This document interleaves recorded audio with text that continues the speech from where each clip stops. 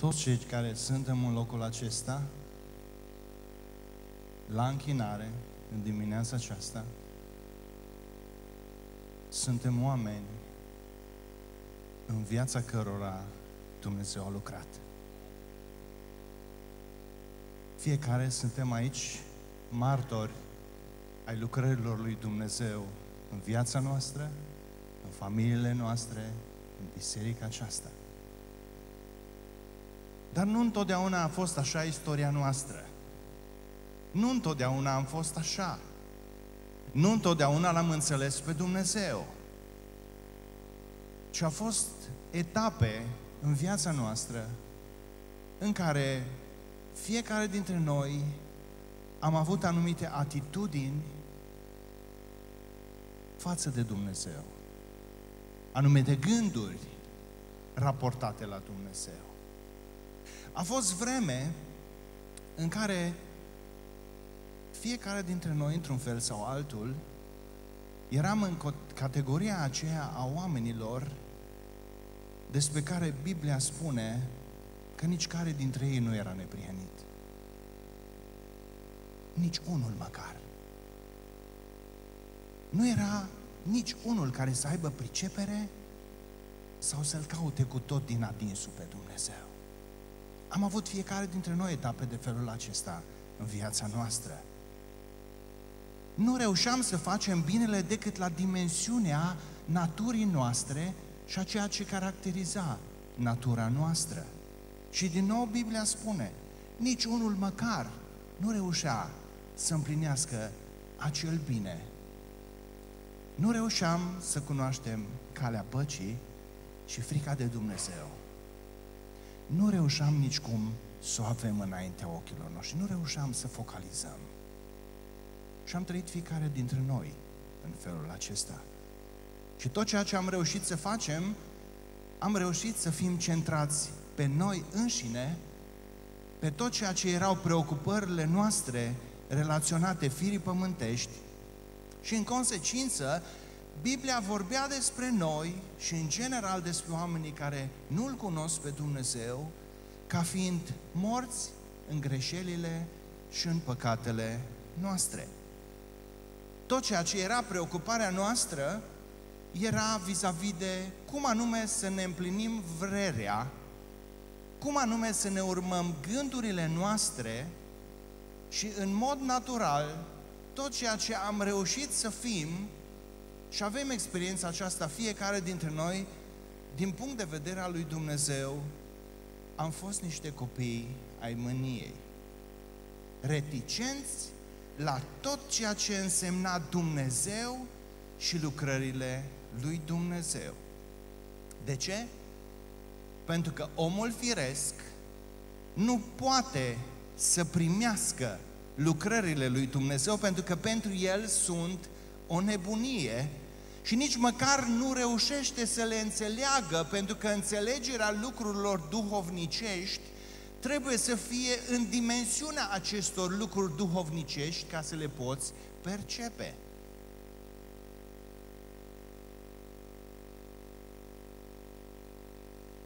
Spuneam că noi toți avem experiența acestei stări și cu toți ne-am mișcat în ceea ce definește natura noastră umană. Dar suntem oameni aici care pot să aducă o mărturie a faptului că undeva în desfășurarea istoriei noastre s-a întâmplat ceva. S-a întâmplat ceva și vreau să fiu unul care mărturisește în dimineața aceasta că ceea ce mi s-a întâmplat nu s-a întâmplat din cauza mea. Ci s-a întâmplat din cauza unuia care nu poate să vadă moartea. Pentru că El însuși este viața. Și pentru că în natura mea umană păcătoasă, nu făceam altceva decât să urmez tot ceea ce venea din mine însumi și era, erau lucrurile pe care le doream și le tângeam. Și pentru că eu, la nivelul meu, n-am reușit o schimbare autentică din tot ce a însemnat desfășurarea aceasta a vieții mele, într-o bună zi am avut parte de o intervenție supranaturală a Duhului lui Dumnezeu. Și s-a întâmplat ceva cu mine și s-a întâmplat ceva cu mulți dintre voi.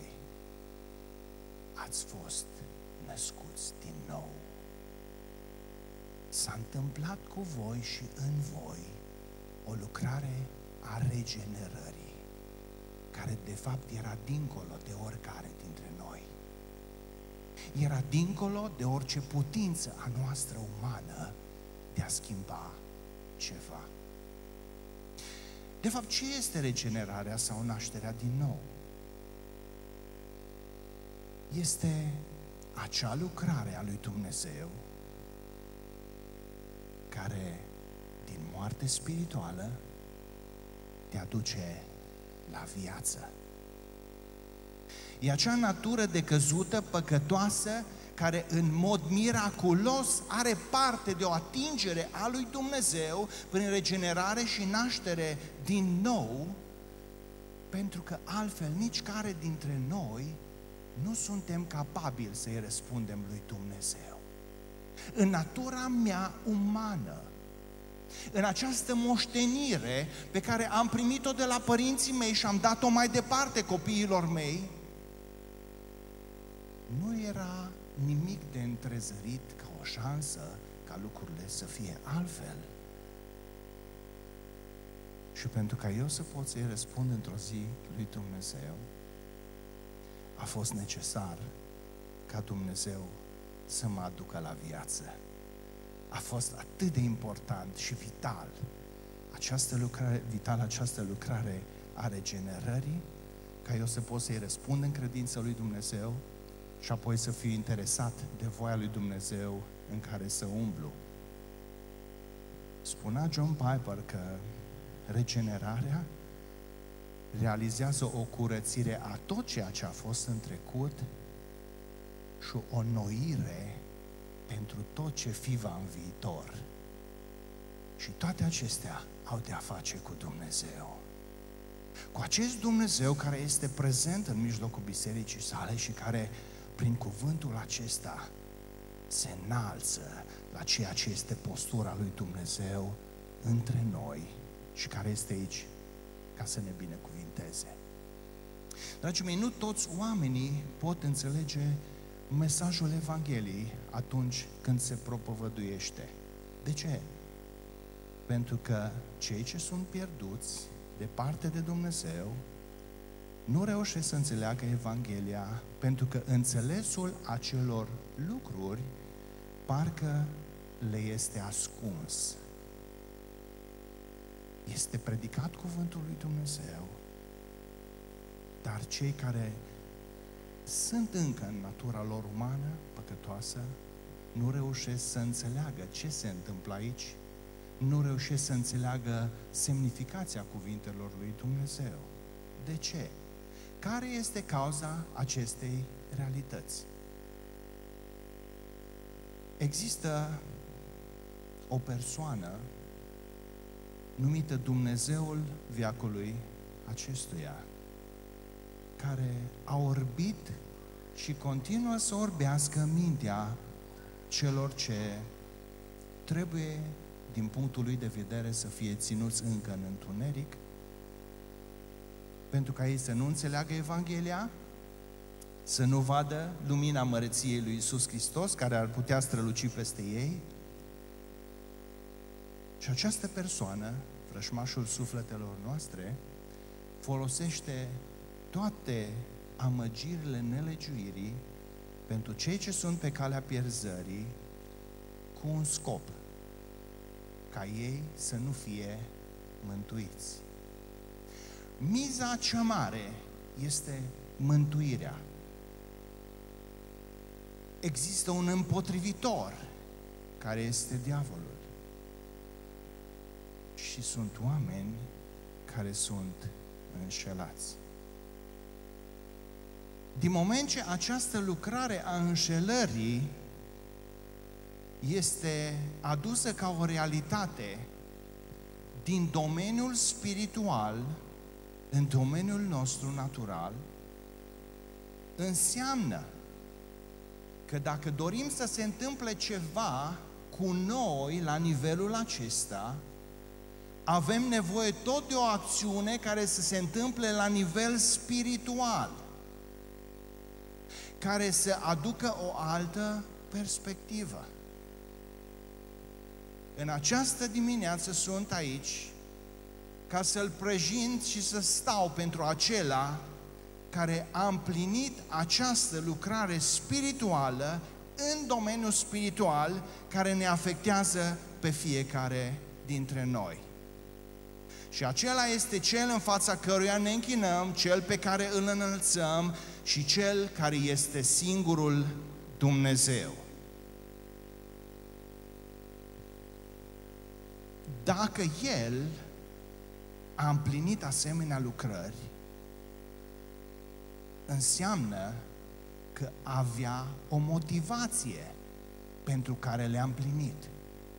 Așa cum tu și cu mine, când facem câte ceva, avem un motiv pentru care facem lucrul respectiv. Haideți să vedem care a fost și continuă să fie motivația din inima lui Dumnezeu în privința regenerării sau nașterii din nou și cine anume împlinește lucrarea aceasta. Sunt câteva argumente. Cuvântul lui Dumnezeu spune, El, de bunăvoia Lui, ne-a născut prin cuvântul adevărului. Ce l-a determinat pe Dumnezeu să fie interesat în regenerarea și nașterea mea din nou? Ce l-a determinat? Vrerea Lui. Și eu am parte de regenerare și de naștere din nou și tu, pentru că așa a vrut El. Așa a găsit El cu cale. El ne-a mântuit nu pentru faptele pe care noi le-am făcut în neprihănire, ci, următorul argument, pentru îndurarea Lui. Așa a vrut El să se îndure de noi. Pentru dragostea cea mare cu care ne-a iubit. Pentru că atât de mult a iubit Dumnezeu lumea. Din cauza asta a făcut și continuă să facă tot ceea ce facă și ce face. Și plăcerea lui continuă să fie să nască fii și fiice într-o împărăția lui.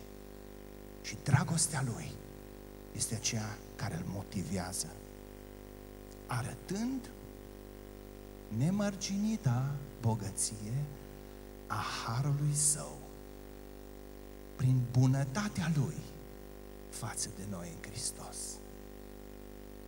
Eu sunt astăzi un fiu de Dumnezeu, fiindcă mi s-a arătat har. Mi s-a arătat har. Și toate lucrurile astea se întâmplă și s-au întâmplat în inima lui Dumnezeu înainte ca eu și cu tine să înțelegem ceva din toate acestea.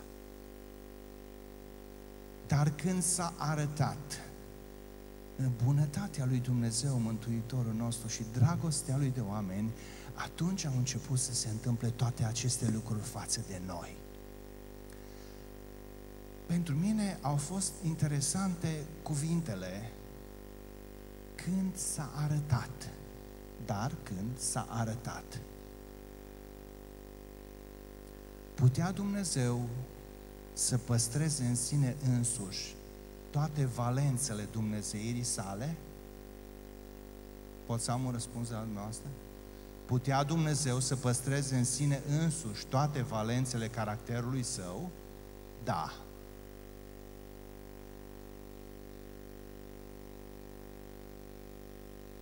Dar dacă ar fi procedat așa, care din noi astăzi ar fi fost aici?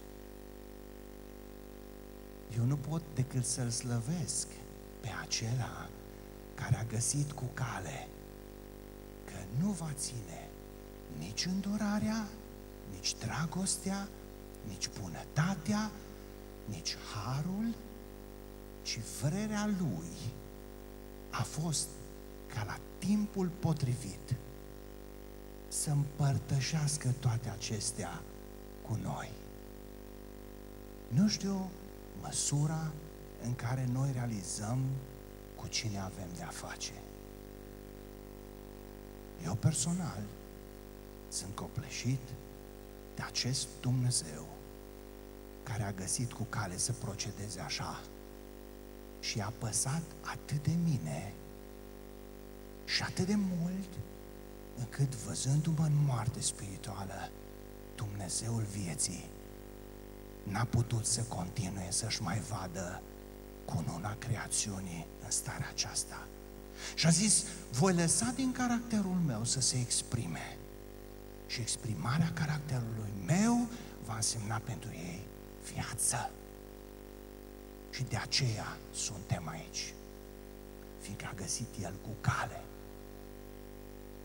Și ce binecuvântată poate să fie ruga ta și a mea și a bisericii când spunem Tatăl nostru care ești în ceruri. Și când spun fie vrerea ta, vă rog să vă uitați altfel și să percepeți altfel.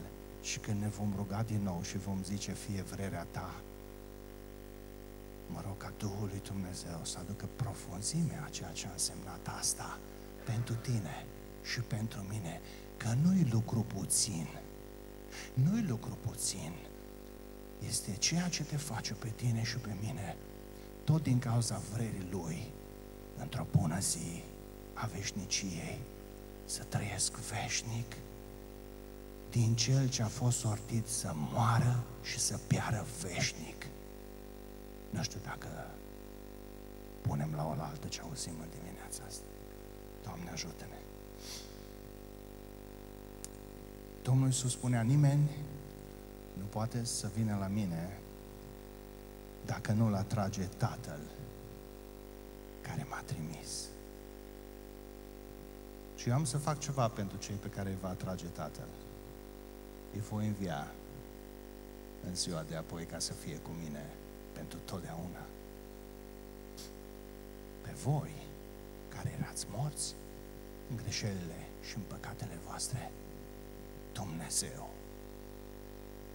Dumnezeu v-a adus la viață. Pentru că Duhul este Cel ce dă viață. Și spunea Domnul Iisus, cuvintele pe care eu vi le-am spus au două elemente de mare forță în ele. Sunt Duh și sunt viață. Și despre acesta pe care îl prezint în dimineața aceasta, Dumnezeul meu în fața căruia mă închin, este Cel ce cheamă și continuă să cheme din întuneric la lumina sa minunată. Cum anume are loc regenerarea sau nașterea aceasta din nou? Printr-o spălare a nașterii din nou. Atunci când te speli, ce faci? Faci lucrul ăsta ca să te curățești, nu? Faci lucrul acesta ca să te curățești. Prin spălarea aceasta, în naștere din nou, are loc acea curățire completă a Duhului meu, a Duhului tău, prin înnoirea făcută de Duhul Sfânt. Pentru că vreau să știți că Duhul Sfânt este Cel ce cauzează în fiecare dintre noi nașterea din nou. N-a fost și nu va fi niciodată ceea ce vei putea tu sau eu să fac. Pentru că dacă stăteam puterea noastră,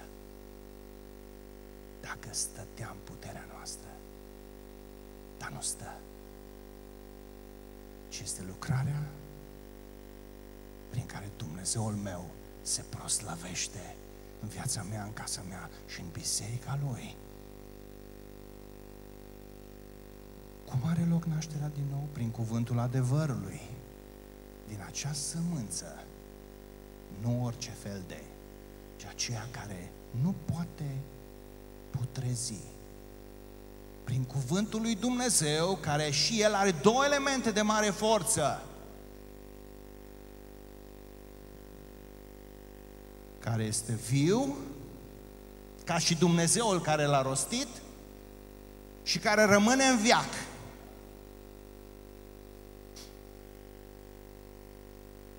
Cum anume?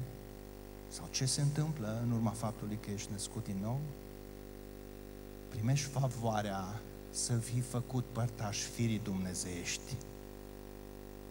Adică, din ceea ce prezentam la început ca fiind natura noastră păcătoasă, modul nostru natural de a fi, dintr-o dată, ești chemat să fii părtaș unei alte naturi, unei alte firi, dacă vreți, firii dumnezeiești. Dacă ar trebui să mă puneți să explic nașterea din nou, aș vrea să vă spun că aș fi în încurcătură. Cum să explice omul în profunzime ce face Dumnezeu? Nu înțelegem exact cum se întâmplă nașterea din nou, dar avem în acest sens cuvintele pe care Domnul Iisus Hristos i le-a spus lui Nicodim. Vântul suflă încotro vrea și l auzi, dar nu știi nici de unde vine, nici încotro merge. Ce spune Domnul Iisus mai departe, tot așa este și cu oricine este născut din Duhul. Așadar, nașterea din nou sau regenerarea este o lucrare tainică a lui Dumnezeu care este ascunsă de ochii oamenilor. Totuși, aș vrea să-mi dați voie în dimineața aceasta să, să încerc. Nu știu dacă reușesc, dar să încerc cel puțin să disting câteva etape ale acestui proces al regenerării și nașterii din nou.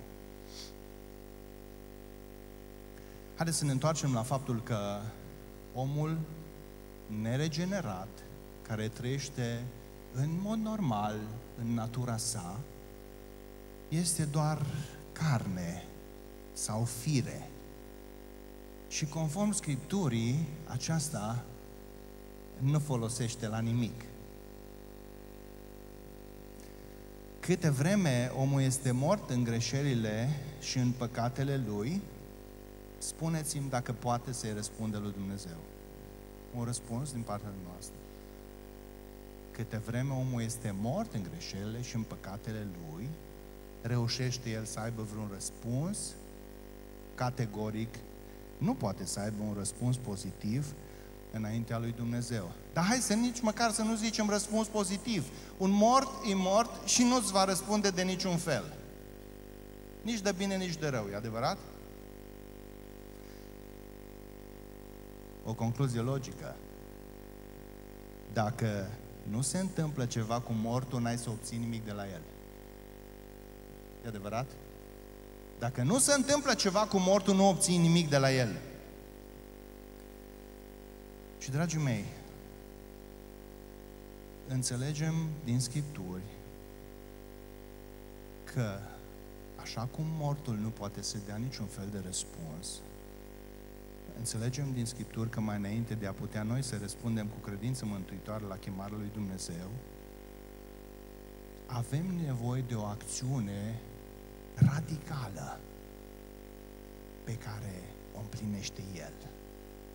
Și primul lucru care se întâmplă ca tu să poți să răspunzi, ajutați-mă, ce trebuie să se întâmple? Mortul să învie. Ca să poată să ce? Să-ți răspundă.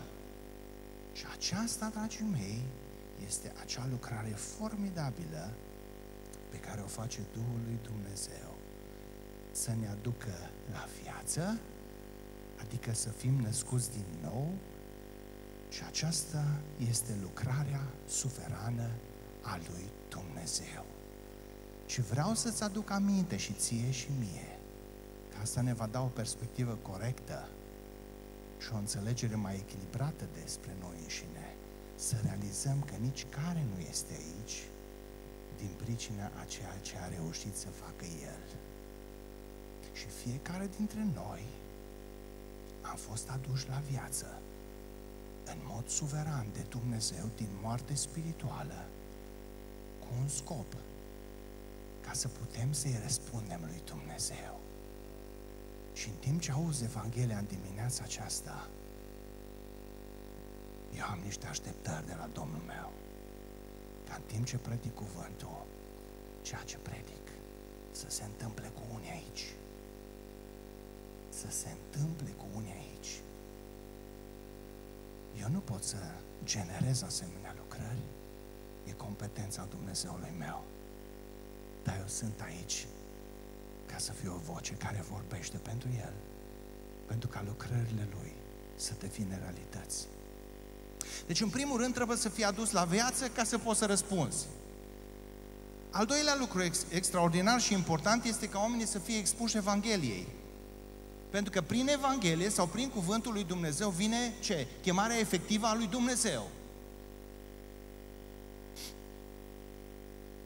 Aș vrea să ne uităm la două exemple în Scripturi. Cazul lui Corneliu este chemat Petru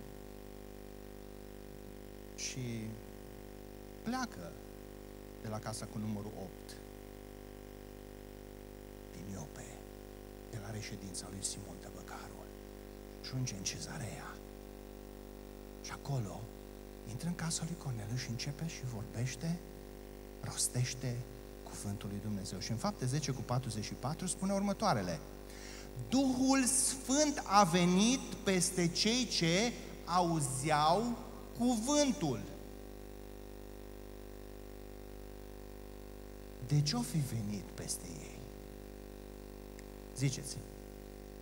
Ca să îi aducă din stare de moarte spirituală la viață, să-i nască din nou, ei aud Evanghelia și în final în timp ce sunt expuși Evangheliei ca oameni aduși la viață, ei au putut să spună da lui Dumnezeu.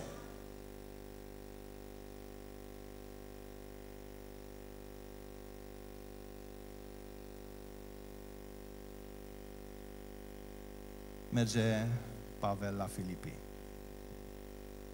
și pe malul apei întâlnește câteva femei. Una dintre ele era Lidia. Și interesant cum vorbește Scriptura acolo. Fapte 16, 14b și 15. Scriptura spune așa. Domnul a deschis inima Lidiei. Primul pas. Al doilea. Ca să ia aminte la cele ce propovăduia Pavel. Al doilea pas. Ca urmare a acestora, ea a avut un răspuns pozitiv în credință. Al treilea lucru. Și al patrulea, care o fi fost oare? Versetul următor, 15. A fost botezată. Cum vi se par aceste elemente care vin împreună? Domnul i-a deschis inima Putea ea să facă asta? Nu. No. Domnul i-a deschis inima. ce e asta? Lucrarea suverană a lui Dumnezeu care a adus-o la viață. A născut-o din nou. Și faptul că a născut-o din nou a determinat o anumită atitudine a ei. Ce făcea ea? A început să ia aminte la cuvintele pe care le rostea Pavel. Și fiindcă s-a întâmplat asta, ea a avut un răspuns pozitiv în credință. Și ca urmare a fost botezată. Dragii mei, Dumnezeu prin regenerare ne schimbă dispoziția inimii. Și în consecință primim acea abilitate de a avea un răspuns pozitiv față de Dumnezeu prin credință și pocăință. Foarte multă vreme, ani, și au trecut ani deja de atunci, în care trăiam cu impresia că mântuirea oamenilor atârnă greu de felul în care voi predica.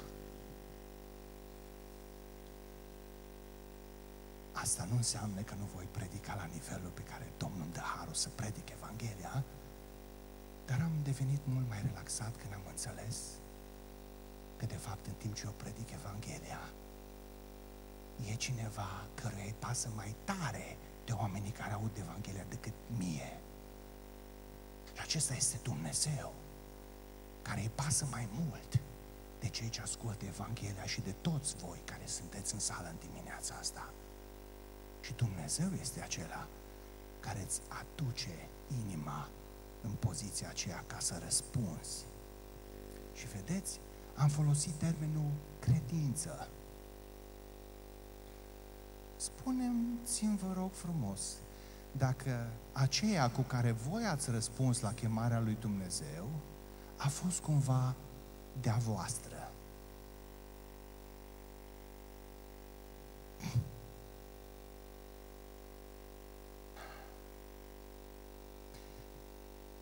Ca să vezi cât de tare e accentul pe noi în mântuire. Asta vreau să scot în evidență în dimineața asta. Și credința cu care răspunzi tu lui Dumnezeu pentru mântuire, zice Scriptura, că vine tot de la El. E adevărat? Dragii mei, El inițiază faptul că mă trezește din moarte spirituală la viață mă expune cuvântului, îmi schimbă dispoziția inimii și când să răspund eu, răspund tot cu ceea ce este darul Harului Său. Wow! Ce Dumnezeu formidabil! Care n-a lăsat pe seama noastră nici condiția inimii,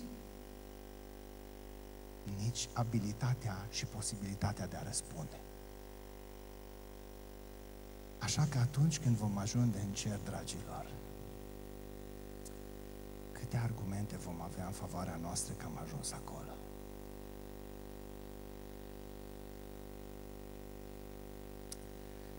Atunci când cineva este născut din nou, există niște efecte sau există niște lucruri vizibile.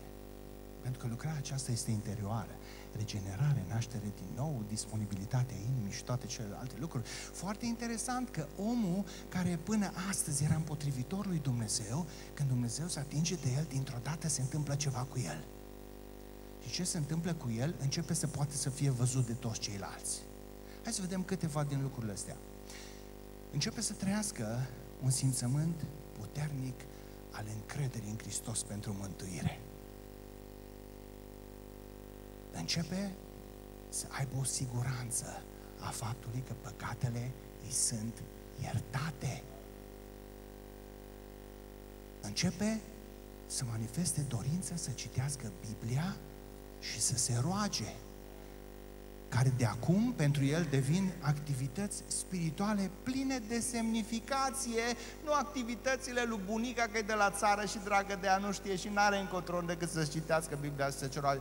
Dintr-o dată devine o activitate foarte importantă, spirituală pentru el și începe să manifeste interes pentru asta, începe să manifeste dorință să asculte și să se supună cuvântului lui Dumnezeu. Dintr-o dată parcă vrea să se închine lui Dumnezeu, din tot ce a fost închinarea la sine, la carieră, la bani, la situație, la poziție, dintr-o dată vrea altceva.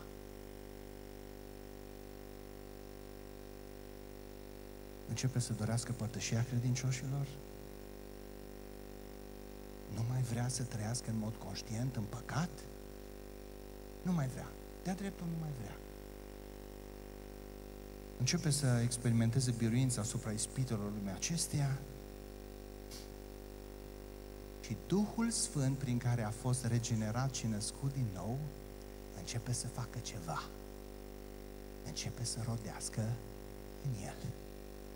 Și începe să manifeste dragoste și pace și credincioșie și toate celelalte și astea pot să fie văzute în el, în ea. Și au schimbări, au loc schimbări vizibile în caracterul persoanei. Și toate acestea însumate, dacă vreți, au de-a face cu faptul că acea persoană a devenit o nouă creație, o nouă zidire, o nouă făptură în Hristos. Vorbim despre o filiație eternă, vorbim de fii și fiice ale lui Dumnezeu. Deci noi nu suntem o comunitate de oameni care ne-am întâlnit în dimineața asta fiindcă n-am avut ce face altceva.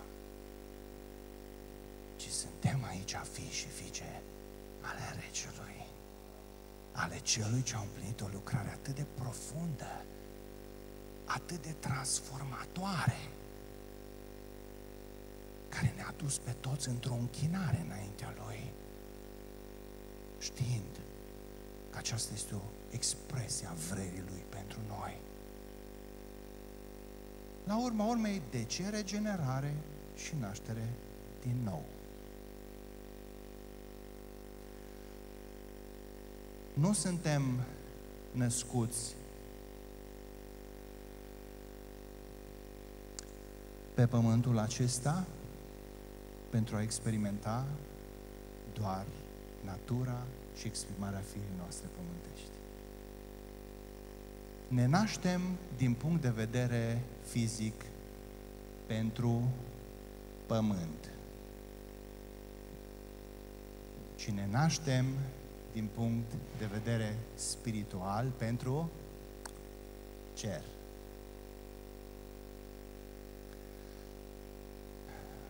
Mai corect spus, cred că n-am zis bine. Care este corecția care vreau să fac? Am spus că ne naștem. Dar, dragii mei, nu știu care s-a născut pe el în lumea asta. Deci, hai să corectez ce am zis. Deci nu te naști tu pe tine însuți, nici pentru pământ, mă ajutați? Și nici pentru cer. Nici care dintre noi nu s-a putut naște pe sine pentru pământ și nici care dintre noi nu are niciun fel de abilitate în el însuși să se nască pentru cer. Și așa cum altcineva te-a născut pe tine ca să fii în existență pe pământul ăsta, dimineața asta a avut rostul să-ți aduc aminte că există acea lucrare formidabilă a Duhului lui Dumnezeu prin care ești născut. El te naște pentru cer. De ce e atât de importantă nașterea din nou și regenerarea? Iisus îi spunea lui Nicodim că sunt două imposibilități majore dacă nu se întâmplă asta în viața ta. Două. Știți care sunt?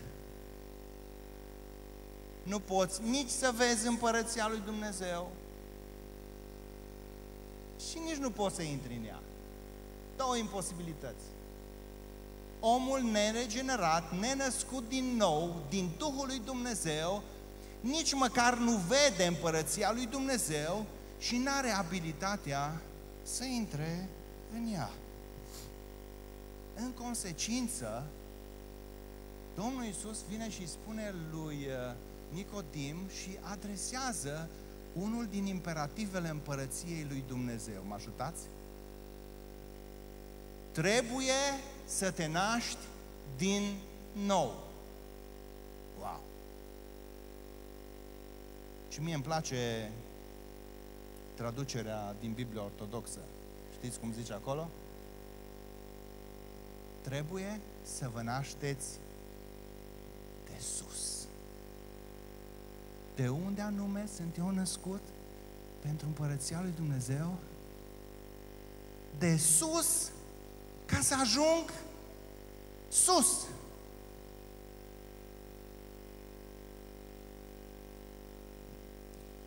Dar pentru mintea noastră omenească e atât de greu de priceput. Și știți de unde trag concluzia asta? Atunci când Domnul vorbește cu Nicodim, care era un elevat cunoscător a tot ceea ce însemna iudaismul, știți cum începe Domnul Isus și îi spune lui Nicodim, textual, scriptural, nu te mira că ți-am spus.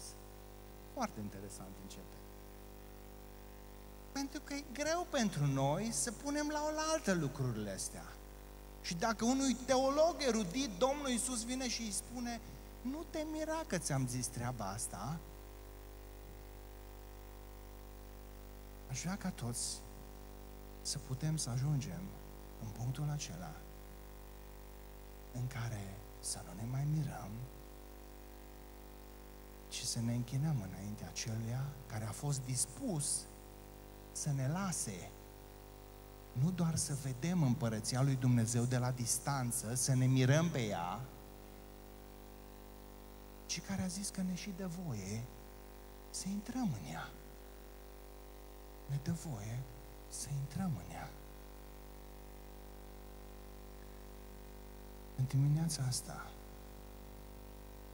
în timp ce m-ai auzit, vorbind în numele Celui ce regenerează și are abilitatea să nască din nou pentru împărăția Lui, dacă m-ai auzit și cumva s-a întâmplat cu tine ceea ce ai auzit în dimineața asta, aș vrea să fac un lucru. Andrei, te rog frumos, mulțumesc mult de tot. Aș vrea să fac un lucru. Dacă simți că lucrul ăsta se întâmplă cu tine acum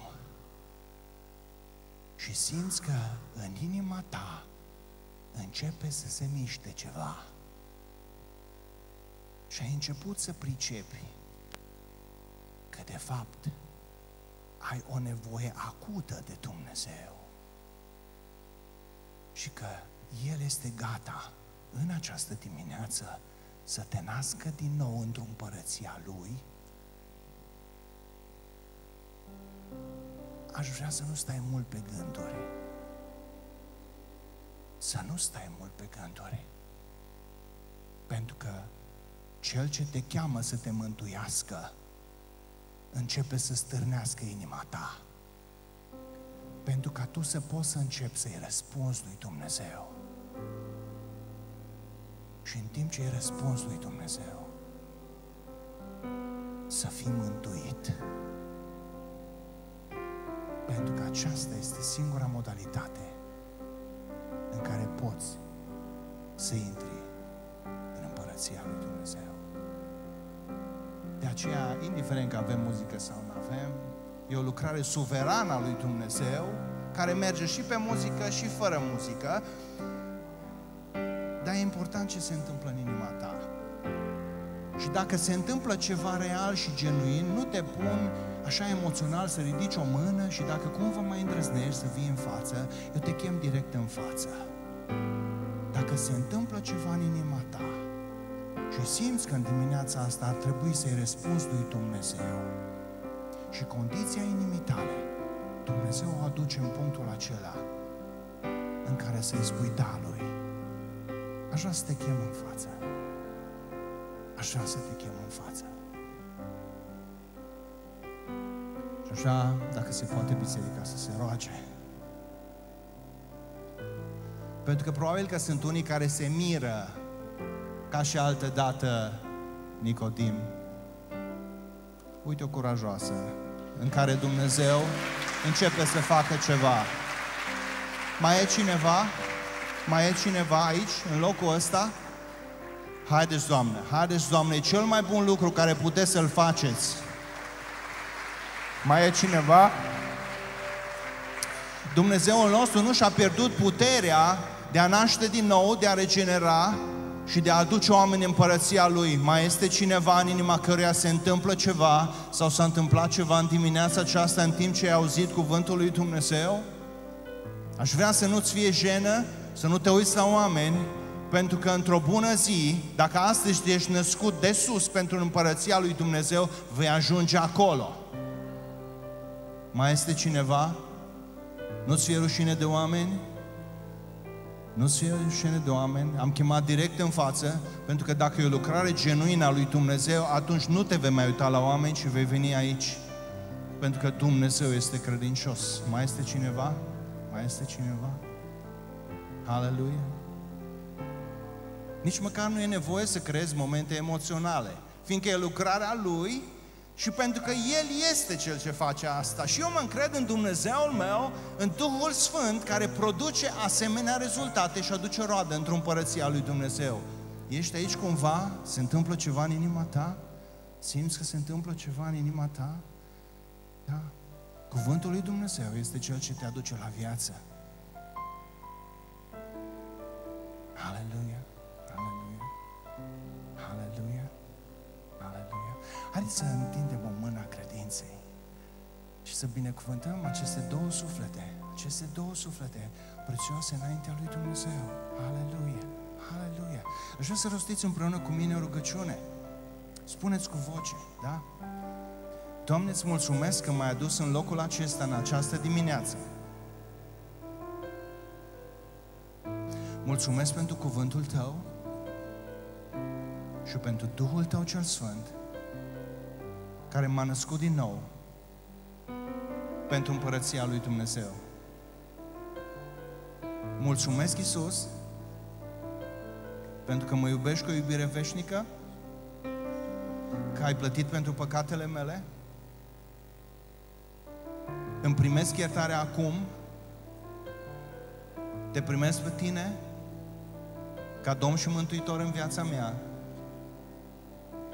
și vreau să merg împreună cu tine în toate zilele vieții mele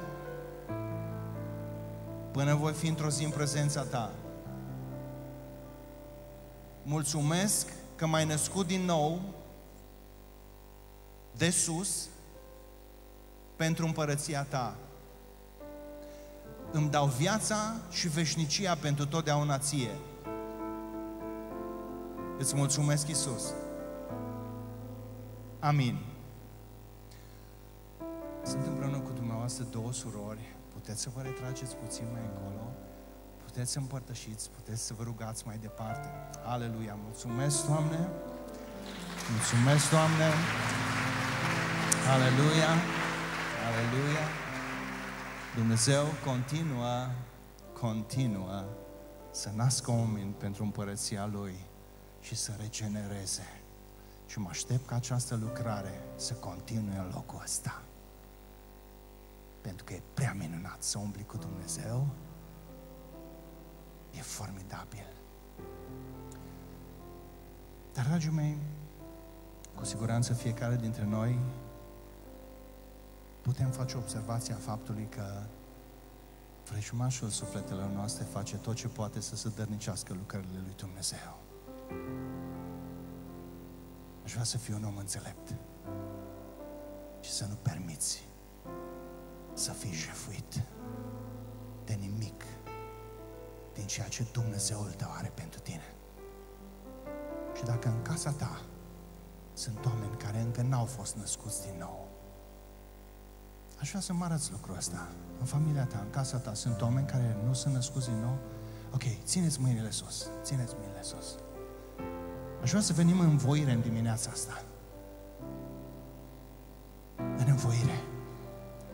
Ca această putere a cuvântului care a fost eliberat în această dimineață aici, prin Duhul Sfânt, să atingă, să mântuiască, să aducă la viață pe toți acei din casele și din familiile voastre, care încă astăzi umblă în ceea ce este vrerea lor și dorințele păcătoase a inimile lor.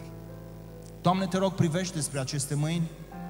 Doamne, Tu știi și cunoști casele lor, familiile lor, cunoști, Doamne, pentru cine anume ei au ridicat o mână înspre Tine și, Doamne, în mod suveran, Duhul Sfânt al lui Dumnezeu, Venim în această zi și în rugă mijlocim ca puterea de regenerare, puterea de naștere din nou, puterea aceea care aduce oamenii la viață din punct de vedere spiritual să fie eliberată în familiile acestea. Doamne, te rog să asculți ruga lor, te rog să asculți zbaterea sufletului lor, te rog să asculți mijlocirea care o înalță la tronul îndurării și, Doamne, vrem să vedem rezultate.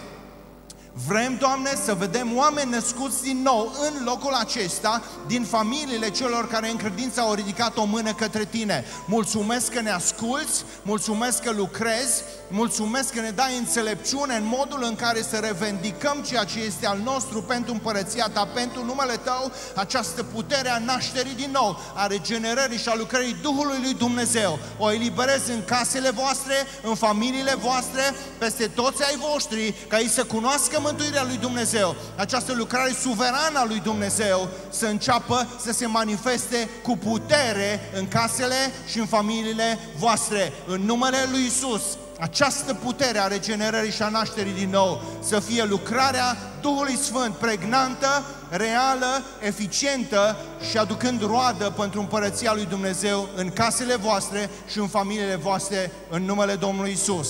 Amin. Puteți să lăsați mâinile jos. Aleluia! Și mai vreau să fac o rugăciune și cu asta închei. Doamne, în dimineața aceasta ne-ai dat voie din nou să fim uimiți de Dumnezeul pe care îl slujim. Mulțumesc în dimineața aceasta că ne-ai dat voie, Doamne, să vedem măreția acelea ce ne-a dus la viață, acelea ce ne-a născut din nou pentru cer și pentru împărăția Ta. Doamne, oriunde, în viața noastră, în vreun fel sau altul, am zădărnicit lucrările Tale sau de atâtea ori, Doamne, ne apropiem atât de mult de natura noastră firească și păcătoasă, din care Tu ne-ai scos, Doamne, mă rog, un cuvânt de eliberare peste noi. Și mă rog acea lucrare puternică a Duhului Tău în noi să ne facă să umblăm cu Tine, să ne facă să trăim în plinătatea ce Tu ai pentru noi. Și, Doamne, nu putem decât să Te binecuvântăm, să recunoaștem lucrările Tale în noi, între noi, în biserica Ta și cu noi. Și pentru toate, Tu să fii înălțat, Tu să fii binecuvântat și lucrările tale prețuite în mijlocul poporului tău. Amin.